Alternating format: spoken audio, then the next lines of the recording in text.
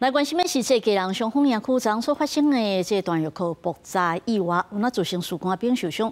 蔡英文总统今日透早去三庄看重伤的树干，因为这野区有那正挖进一寡主体甲加油站，所以家人市长贾国良有那要求讲，国防部应该爱将这段药库清刷离开主体区。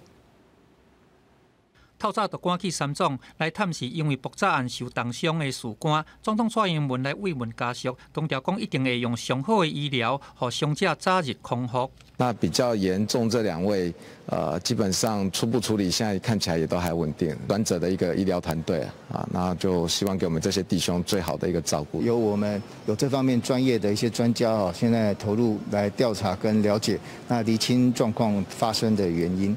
家人双方野区弹药库二十四发生爆炸案，造成真侪个士官兵受伤。因为野区挖进加油站、市场生活区，家人的民众嘛拢真关心这件爆炸案。当然是大家是上愿意啊，对，所以拢较无人住的所在安尼。政府也要有作为，把它做好安全，跟给人民有充分的明白。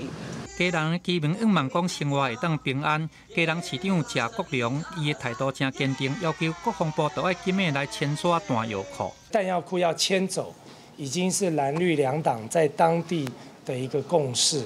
所以我希望在这个共识之下，我们可以跟国防部在一定期间内好好协商，然后希望完成弹药库迁移。它弹库的位置绝对是。